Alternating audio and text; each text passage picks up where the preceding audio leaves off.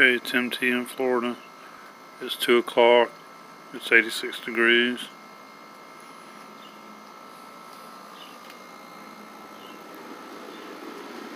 We have rain coming up each side of the state. It looks like it could rain at any time.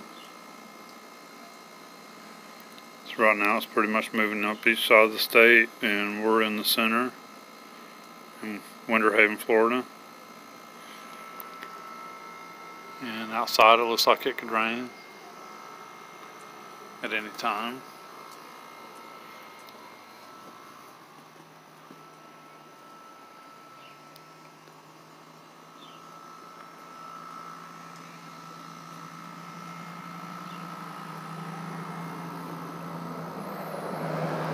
And I'm making a couple of videos today.